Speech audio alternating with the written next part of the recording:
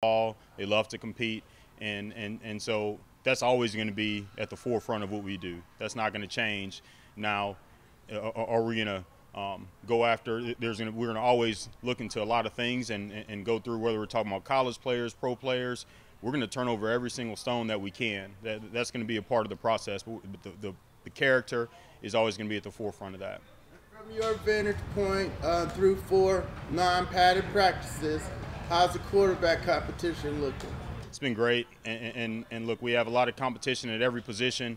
Um, I, I, thought Dave uh, Archer said it well the other day when he was talking about Joe Montana going into San Francisco's camp, fighting for his job, and that's the mindset at every position. Everyone's here, knowing they're they're fighting not only with the, the players here for, for, for their jobs, but also outside the building. We have an excellent personnel staff that's uh, looking at every other roster, and, and we're always trying to bring in competition from outside the building. But at, at that position, it's been great. Um, we're really excited about where, where Desmond is, excited about where Marcus is. Both players, obviously, you see the physical tools and the traits. They're mobile, they run around. Uh, you see the throws that they're making out on the field. So they both have all the physical traits, but the, the, the, the makeup, really the way they prepare, the, the mental, the, the types of teammates they are. Um, we've been very pleased with both players, and, and we're excited about that. How do um, some of the players and fans are having trouble squaring Ridley's one-year suspension with the six-year suspension for, for Deshaun? How do we how do you explain that to the folks that don't understand? That's the first question you asked, and now you're asking it a different way. That's that's one of those vet savvy for you for you young guys out here. That's a vet savvy move right there. That's the um, but again, look, it's our job. That's a league matter, and and we have enough on our plate here, so we have to focus on the things we can control. Do you think it's fair that he that? And, and it, it's the third time you've asked the same question. There you go. Did y'all get together and work together on this? I like I like the teamwork because I thought y'all were kind of nemesis, but I guess there's a little teamwork going on here. I like it. It's impressive. So so since he did that for you, you gonna let him take the first question uh, with the coach? next time. Yeah. I know you're, you're going to say this the same question again, but you said the right type of guy. Did you feel Deshaun was the right type of guy for you?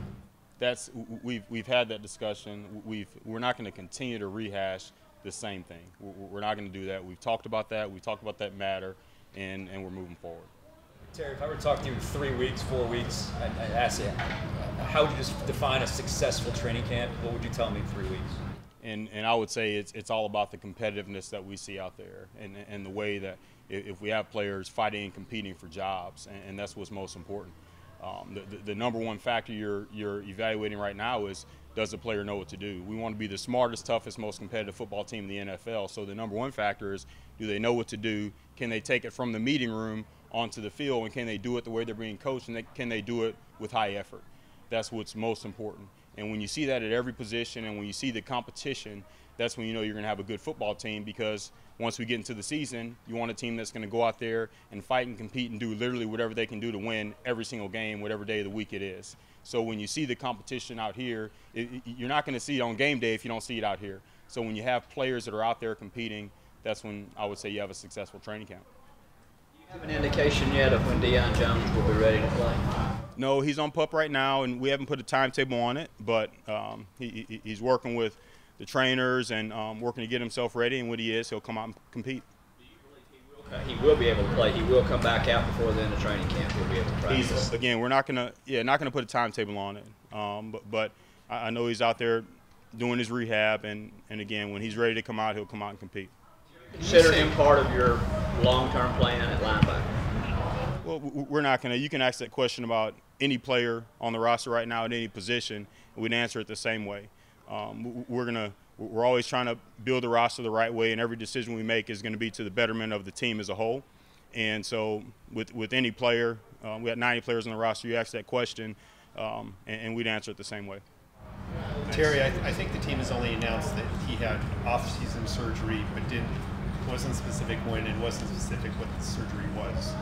Can you provide some specifics? No, it's again he had off-season surgery. He's going through the rehab process, and and uh, we're not going to put a timetable on it.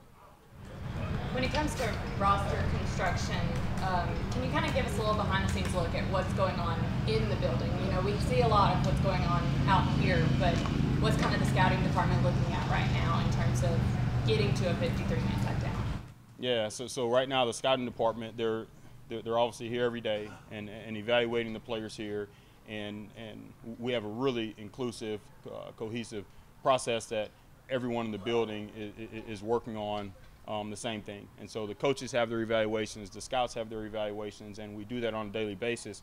But what the scouting department is also doing again is they're looking outside the building, and you see every day they're monitoring the waiver wire. They're looking at players that are on the street, um, having bringing in workouts, and and look assessing the other rosters.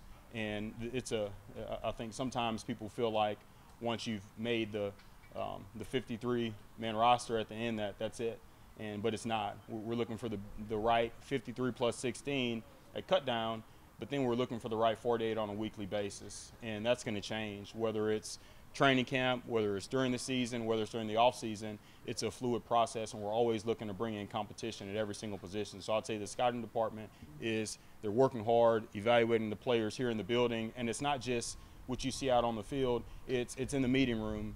Um, and it, it's what players are doing off the field. It's what they're doing and with the performance staff and the, in the equipment room. It's how they treat people around because we're looking for the right types of players. And it's not literally just what you're doing on the football field. Um, are, are you endearing to your teammates and the people in the building? Because to have the right ethos, to have the right culture, and to build the type of team we're going to build, it, it, there are a lot of factors involved in that, and we evaluate every every part of it. You said before that every move you make is interconnected. How do you view because that, most GMs, most teams have philosophies of tackles versus guards versus centers and how you pay them. How do you view that tackles, guards, centers, and how in how you view them when it comes to financials? You mean, eh, do you want to invest more? Right. Do, do, do you look at more like tackle as the investment, center as the investment? Do you look totally at the player? Like, how does that square? Because most teams have different. Every team seems to have a different philosophy.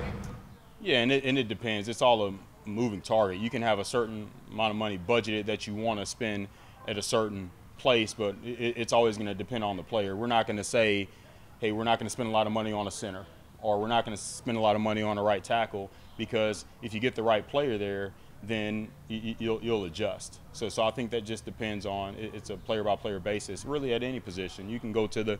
Some people might say, "Oh, we're not going to pay a nose tackle a lot of money," but if it's the right type of guy that's disruptive, and we're looking for multipliers, we're looking for players that make people around them better and you can find that at, at any position. And when you do find it, then um, you want to invest in it.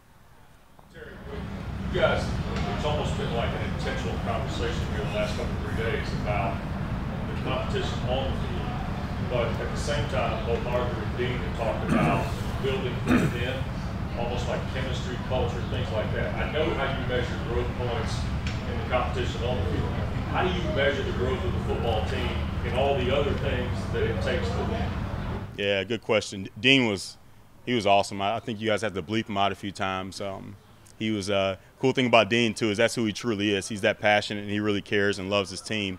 But it's it's we're measuring it in, in literally everything they do. No different than when a college so the college scouts are out right now and they're already working on the 23 class and they're in the buildings right now and they don't just talk to uh, the head coach or the position coach. They talk to everybody in that building, uh, whether we're talking about academic services. They talk about the previous teammates. They talk about talk to people on campus. We want to know who those human beings truly are, and it's it's not a perfect, it's not like a perfect science that we can always, but it's a it's every part of it. So again, when the players are here, we're looking at literally every part of what they do and, and, and who they are as human beings.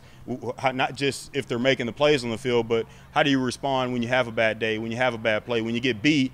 Are you putting your head down and walking away? Are you flying downfield um, to, to trying to make that play? And, and, and coach does a good job of seeing every single thing, everything the players are doing. It, it, there's a reason for it. Whether when we have the special teams period, I, I've seen places that they kind of take that time off and they're not really into it. But on those periods when we're doing the, the jammer drill, what are you doing out there on those plays? And, and how are you handling every single drill because it matters. When we're doing the open field tackling drill, how are you doing that? So I think it's it's the way how you do anything is how you do everything and and how you handle not just when you're in one-on-one drills and you're making plays there, but every single part of it. When you're on the backside of a play, are you flying downfield? Um, are you blocking downfield for a teammate? Um, in the meetings? Are, are, you helping other people? Again, are you a multiplier and, and, do you endear to your teammates? So it's really every part of it. How, much behind or how much further ahead are you now than you were a year ago and all those things? Uh, we're in a good place, and, and, and not to compare it uh, to last year, but we're in a good place. I, I, I feel like you, you, really you really feel it with the players that these guys they really care about each other, and, and I don't even know how you. It's tough to put your finger on it. I can't tell you one specific thing or one specific moment when you see it, but these these players they really love and care about each other and and they take care of each other. And um, it's hard out there. And uh, I know we had a couple scuffles the other day and it's hard because these guys are they're taking it you want them to take it right to the line and you want guys to fight and compete but then you have to be able to have that emotional control and pull back. And it's not always easy but I believe we have the right culture and the guys are going to handle that. But it's a it, it, this is a team that really loves and cares about each other. I know there was always some uncertainty with Goldman in terms of how he was going to project, but Say it again. Goldman, in terms, yep. I, I, know there was always some level of uncertainty given his last couple of years. Yep. But with his retirement, what's your level of concern now on the defensive line in terms of needing another body up there? Yeah, like you say with Goldman, anytime you sign a player that time of the year, there's a chance for that, and uh, and and so we supported him, and and, and you know we root for him moving forward. I'll say on the defensive line, we like the competitiveness. Obviously, Grady showed up in outstanding shape, and, and he looks the best he's he's ever looked. He, has been outstanding, and we, there's a lot of competition outside of him. But again, like at every position, we're looking, and, and we're always looking. We're looking to bring in competition. So we see some good things in this building right now with some of the veterans and some of the young guys, but we're always looking outside the building, um, whether we're talking about signing players off the street, trading for players, and it's not going to stop as the season starts. A guy like Rush, we sign our Pennel, we sign those guys during the year. It doesn't it doesn't end at the final cutdown. We're always trying to find help. Are you confident at all that somebody might pop free somewhere around the league between now and the season? Well, it, it's a. It, sometimes it's not a guy popping free. Sometimes it's not a guy getting cut. Sometimes it's a trade. Um, again, at every spot, I, I, I, love our pro department, and they're really pounding the pavement, and they're they're assessing these other rosters. So um, that's our job to do that. It, it's never it's a fluid process throughout the whole year. Terry, any update on uh, Bryan Edwards left practice a little bit early uh, on Saturday? Yeah, fell on that shoulder, um, and uh, we've taken a look at it, and, and, we'll see where he is. No update um, at this point. Um, not not sure at this point. Yeah first hire, I think I remember during your introductory press conference, it was Zoom. You were talking about your son and said you were showing your son he could do it because you wanted to be a GM as well. You weren't talking about your qualifications, you were talking about your color. I know this offseason the league is here doing diversity. Um, where do you think the league is right now in diversity? Yeah, th- thanks for asking that question. And I think um, we always try to focus on this building – and um, and I think again, like in controlling the things that you can control, we can control this building.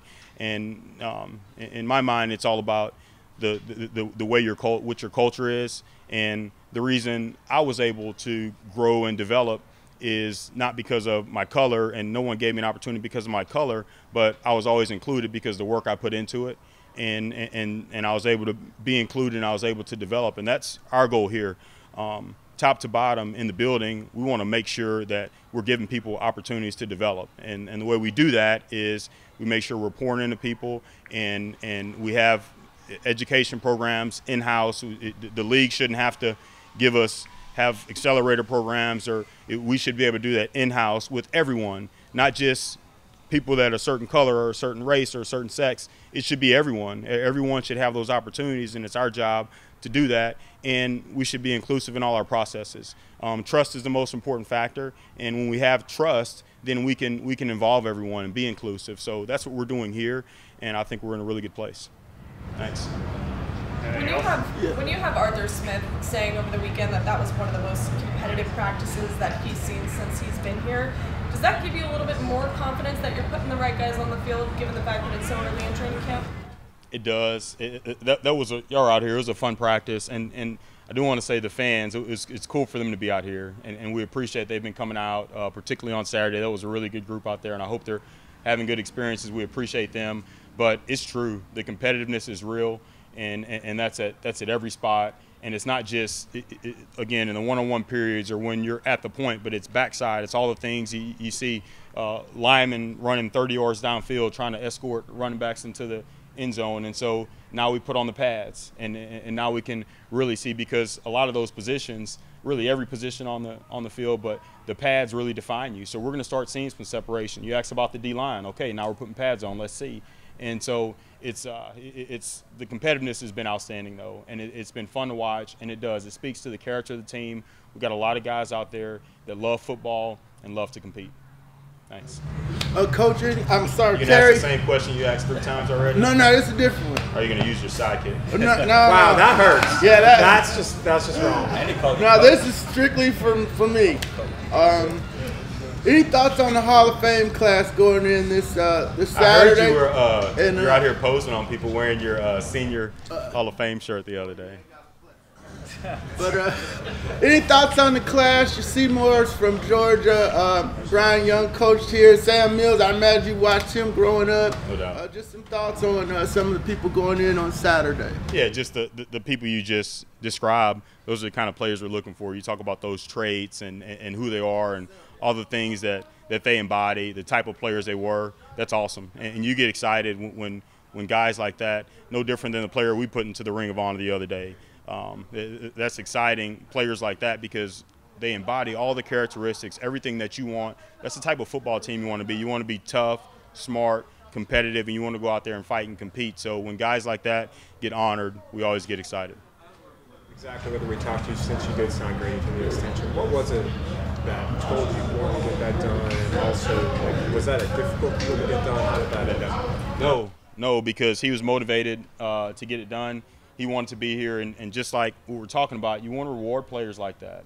Um, able to give him the extension, able to give Jake an extension, and, and Younghoe. That's exciting because those are the kind of players that you want to you want to build around because of who they are as people, the type of teammates they are. Obviously, they're good football players, but you know they're they're multipliers. They're going to make people around them better because they really care about and love this team. And, and Grady's one of those guys, and we're, we're really appreciative to have him.